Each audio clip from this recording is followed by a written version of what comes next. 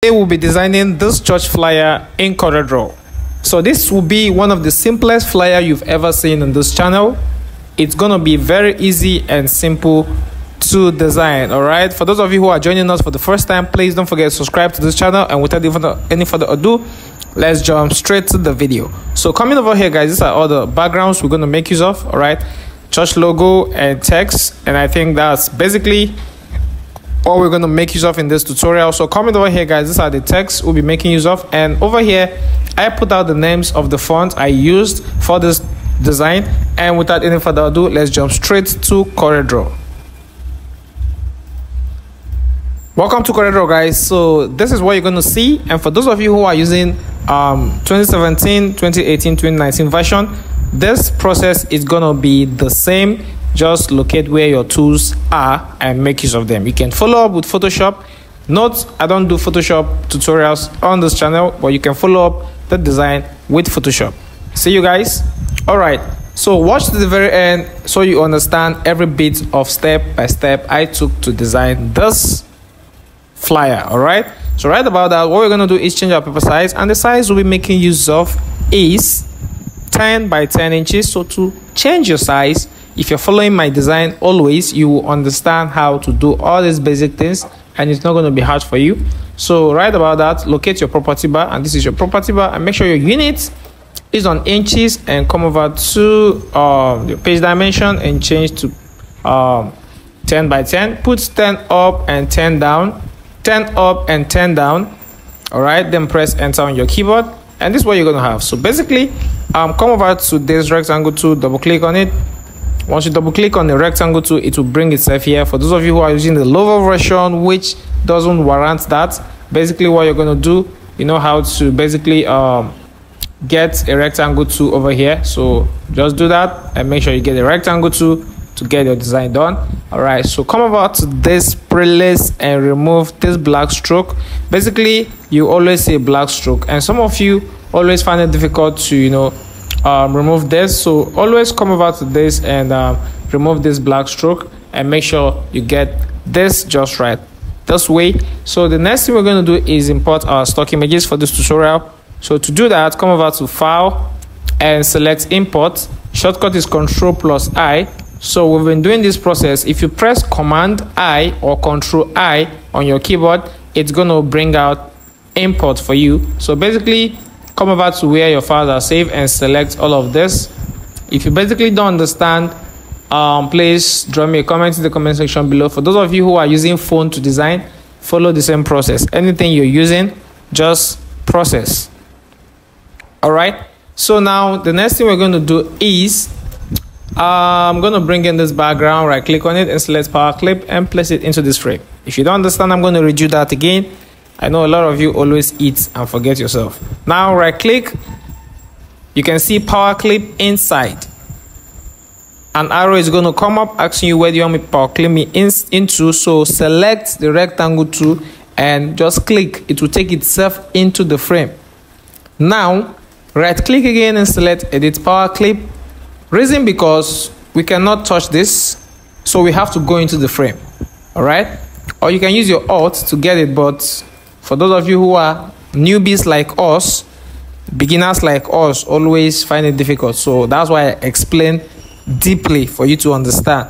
Now right click and select edit power clip so we can see what we power clipped inside. Now we can access the power clip but we cannot access this. You can see it has turned to white or something else. Now basically what you're going to do is you're going to just scale this up this way all right so scale this up and put it to the middle.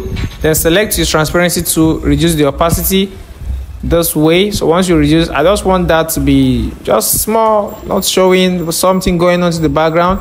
You can use um 57 pixels and click on finish. That is what you're going to have guys. So now i'm going to bring in this image. And i'm going to scale this up this way. And um, now I'm going to just select my shape tool drag over here. Why am I dragging? You can see see the line. Look at our frame. Look at where this image is going. So drag and take it inside. Now right about that just same with this one and basically leave that to that. So you're going to just scale this one up a little bit and leave that to that. Now the next thing I'm going to do is I'm going to bring in my text. So I'm going to copy from here. Control c to copy. Control v to paste. Command c to copy. Command v to paste. So select your text tool. Control v give it a white color so you can see properly. For those of us who are newbies cut this using control plus x and give it a black word black color. But this color is not deep so come over to your color thumbnail over here. Or you can use F11 to get this edit field now select your color viewer then change this to RGB because it's going to be social media um, flyer not printed. Then drag this node to the very end of the left end of the the color field now click on ok to get a perfect black. Now the font i'll be making use of this like i said i've written out all the fonts for you guys. I'm going to be using this font called Anton. Now if you don't have this font basically go to um go, use the name and go and download it. Now i'm going to break this apart break this apart this way break this apart then use highlight everything using control plus a. Now use shift f3 on your keyboard to change it to uppercase. Uppercase simply means capital letter. You can see we have sentence case we have lowercase we have uppercase we have title case we have titled case. So they are they have their different use you can explore that later on all right? And you know so that is it guys. So now you can use control plus k or command k to break this apart. So right about that what you're going to do is i'm going to just bring this one here scale this up this way. And once you scale it up bring in this guy scale it up this way. Once you scale it up bring this one down a bit. So we're going to manipulate this this but we're going to just drag this one down for now. So once we drag it first of all leave that over there and we're going to manipulate this text.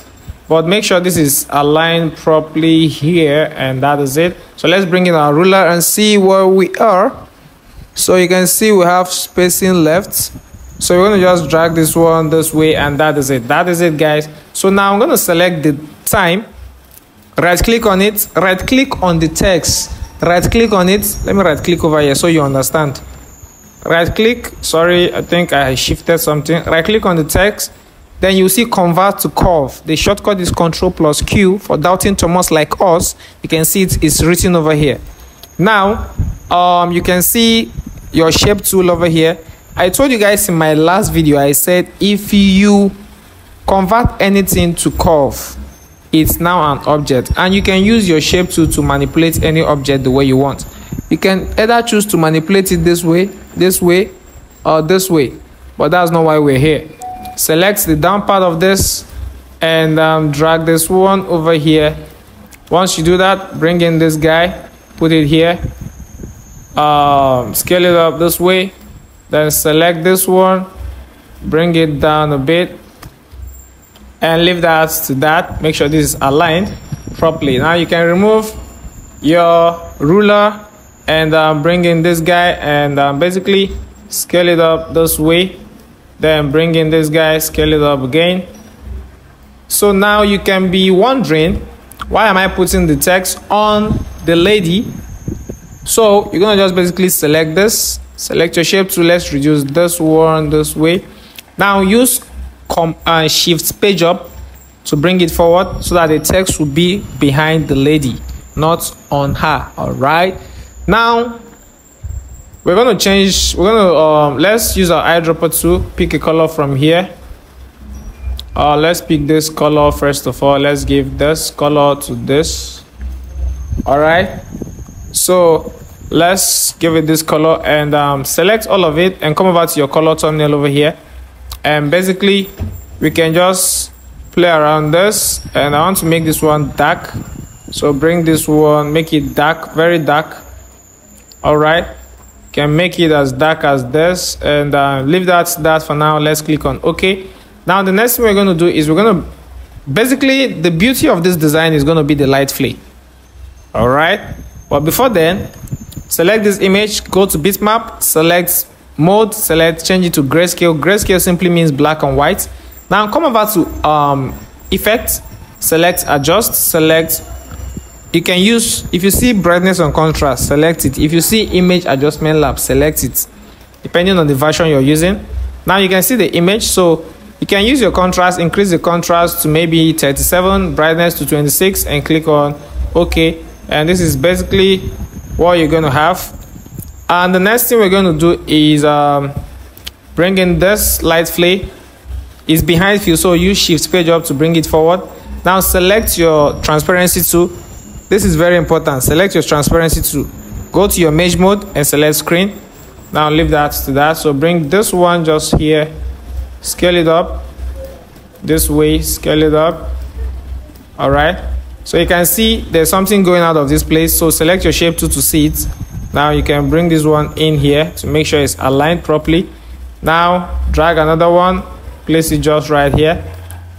All right so uh, select your shape tool and bring it inside so it doesn't distort anything. Now bring another one and place it just right here. Like i told you this design is very simple. We're making just use of light flare to get some basic sweet designs now i'm to bring another one here. All right so basically that's what we're to have. For now let me put one to the hand but i think we're to just make use of this one. All right so that is good that is good that is good. Now i'm to select my rectangle tool and draw a box just right here giving it a white color and make sure the um, stroke is removed. I'm going to select my transparency to fade out this so it's gonna review. I told you guys transparency is either used to review or hide. So i'm going to select the white part and hide this or reveal this part a bit. So i'm going to just take this one up this way. And that's basically what i'm going to have. So next thing i'm going to do is this program is going to be every thursday but before then let's bring our logo. Let's extract this logo. Um, we can't change the color guys so we have to extract go to bitmap convert bitmap convert to bitmap make sure your color model is on rgb all right then come over to trace bitmap outline trace line art and wait for that to load. But before it's loaded please subscribe. So over here guys you guys always watch my video halfway and come and be asking me questions. It doesn't make sense. Watch and understand. Now you can see the before you can see the after. Now click on ok over here and um, basically remove and delete the one you don't have. So bring this one here bring this one here. Delete this delete this delete this. And um, basically we're gonna leave that as black as that. So so we're gonna just reduce this. Place it just to the middle. Make sure it's on the middle. And bring it down a little bit. Bring it down a little bit and that's basically what we're gonna have. So we're gonna cut this one which is every thursday. Every thursday we're gonna give it a black color. So the font we'll be making use of this is called Autograf. So i'm gonna just Autograf. This is it and i'm gonna place it just right here. And um, basically scale it up this way. This is every thursday and leave that. That you can just leave that as big as that. Now if you have other address any other thing you can just copy that put it over here. Now change the font to Campton Book. So once you change it to Campton Book you can use Campton Book um, okay let's say medium. Then reduce the font so maybe 7 then make sure it is centralized. All right then place it. That's if you have address to put. If you don't have address you can put other informations there if you wish anyhow you want it to be. Now i'm going to bring in this one and um, i'm going to just put it here all right so uh, the next thing we're going to do is change this to Campton Book. But we're going to select the Campton Book the bold one. Give it um, black color. Or let's give it this color. Reduce it. Bring it over here. Then break it apart. Once you break it apart you bring this one. Okay let's so that this will be selected then bring this one here. Scale this up. Then scale this one also. Make sure they are equal to each other. Scale this one up. Then basically you can put the line here to demarcate this. All right so this is basically what you're going to have. So the next thing we're going to do every thursday these thursdays is it Thursdays in June. So you can just use this concept and um, explore it. So make sure this is aligned to this over here. All right so we're going to just take this one up this way and leave that there. So if you have inquiries like can type in uh, um maybe plus two three four or let's say zero nine zero four five six seven eight nine ten. All right copy it. That's if you have a phone number to put. I just copy the i just type right up phone number if you like. Go and call it. So now one of us flip this this way. Place it over here. Come over to this and type for info and uh, we're gonna just put that just little as that little as that. And um, leave that that. So we're gonna just give this one a black color. And we're gonna delete this one. And basically scale this one down a bit. And um, bring this one down here to start from this prayers. And basically guys this is how we design this church flyer in CorelDRAW if you have any question please drop me a comment in the comment section below and see you guys in my next video